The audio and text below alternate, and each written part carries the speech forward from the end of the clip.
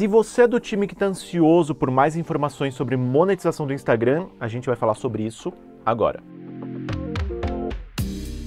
A inscrição e o like são de graça, então por favor, só clicar aqui embaixo, mas você também pode se tornar membro e aparecer nessa cartela com esse pessoal bonito aqui do lado.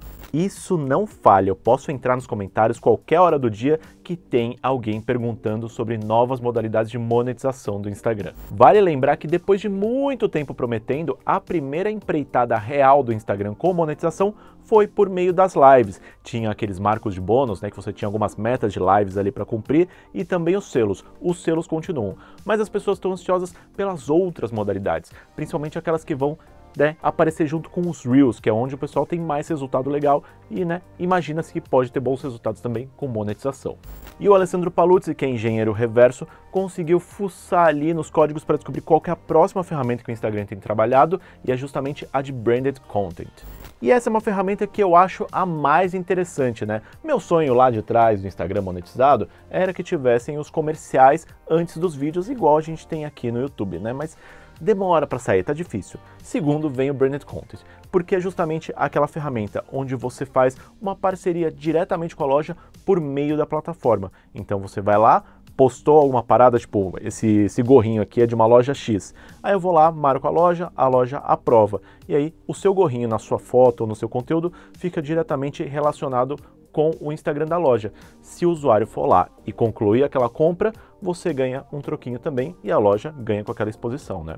Olha o post dele no Twitter. O Instagram está trabalhando em adicionar o Creator Marketplace, uma seção de conteúdo patrocinado ali na parte de configurações, ou seja, eles já estão trabalhando nas configurações onde vai aparecer toda essa parada.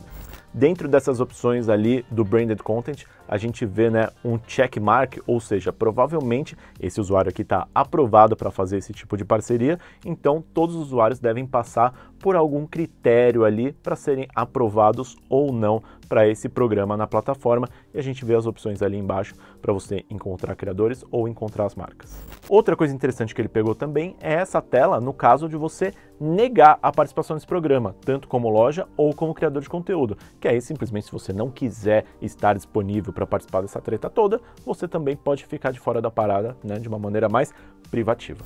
Tem data para sair? Não. Quem vai poder participar? Não sabemos. Quando que vai rolar? Onde que vai rolar? A gente não tem informação nenhuma ainda sobre essa parada.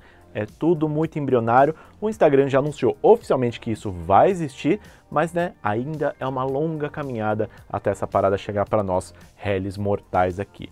De qualquer forma, a esperança é grande de que role alguma coisa legal, porque essa ferramenta promete ser bastante interessante de, dos dois lados, né? Tanto para o criador de conteúdo que vai poder fazer uma parceria com a loja direto pela plataforma, quanto pela loja que vai poder anunciar também seus produtos diretamente nas timelines ali, sem ter que fazer né, nenhuma negociação por e-mail e tal faz direto na plataforma. Eu acho bem interessante. Agora comenta aqui embaixo se você acha interessante, se de alguma forma esse tipo de monetização serviria para você, tanto como criador de conteúdo, ou se você tem um comércio, se você é um empresário, tem uma loja, comenta aqui embaixo e a gente bate um papo, beleza?